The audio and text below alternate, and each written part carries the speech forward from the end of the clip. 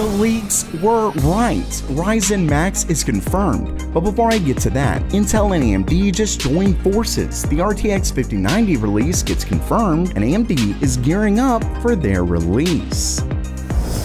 Welcome everyone to Gamer Meld. Okay, it's news time, and first up for today is yet more proof of how important competition is. Both AMD and Intel are teaming up to fight ARM. This story is really wild. I mean, I'm honestly shocked more people haven't been talking about it. As you can see right here, both Intel and AMD have created an alliance to defend the x86 architecture.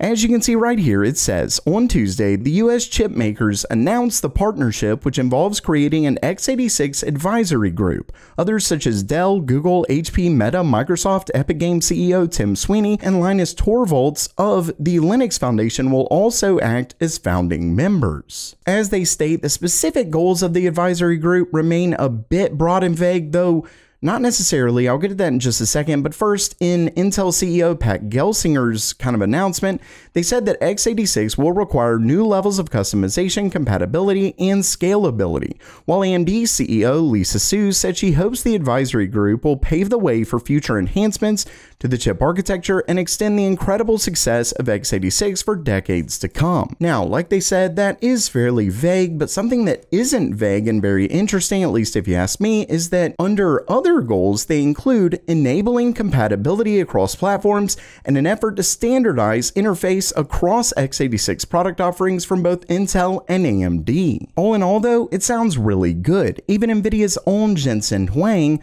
touted that this is very important. And if you love being one of the first to know all the latest PC hardware news like this, make sure you subscribe to GamerMeld and hit that bell icon.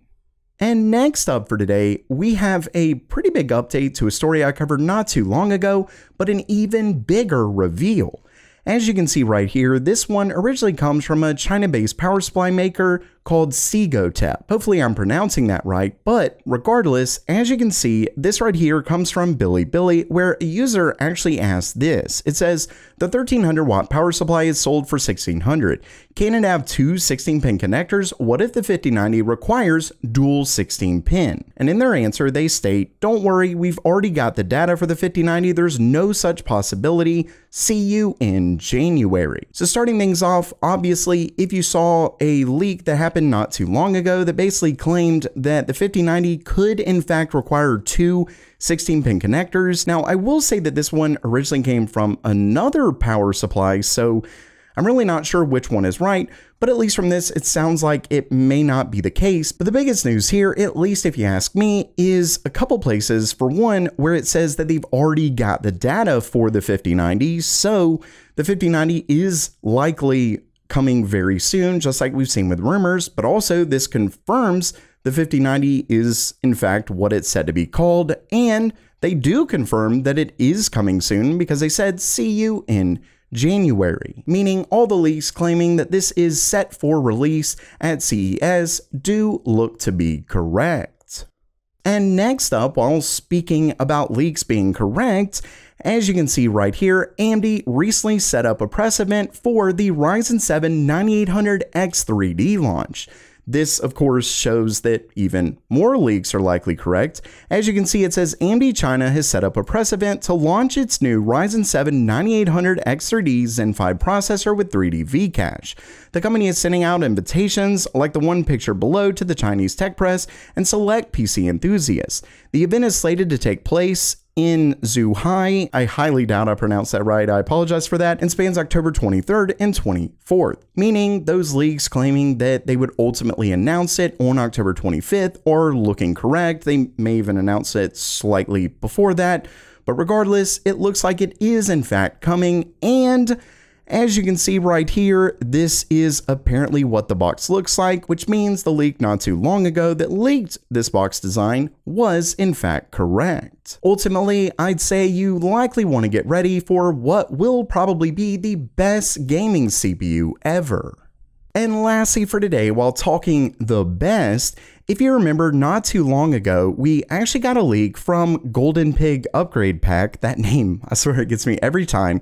But it looks like they've proven themselves yet again. Once again, I actually discussed this leak a little while back where they stated that Strix Halo, which, if you remember, is the upcoming monster APU with up to 40 RDNA 3.5 compute units, but he stated that that was set to be called Ryzen AI Max. Well, it looks like that is in fact correct, as it seems like AMD themselves have confirmed it.